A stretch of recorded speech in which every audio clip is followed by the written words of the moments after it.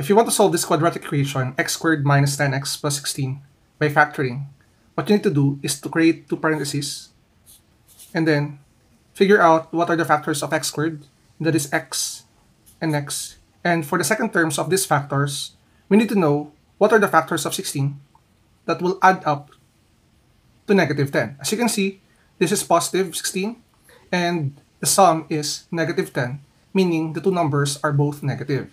And the factors are negative 8 and negative 2. What's next is you need to equate each factor by 0. So this is x minus 8 is equal to 0 and the other is x minus 2 is equal to 0. Solve them. x is equal to 8 and the other is x is equal to 2. These are the solutions of this quadratic equation.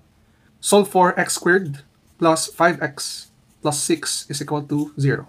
Falou, Formor.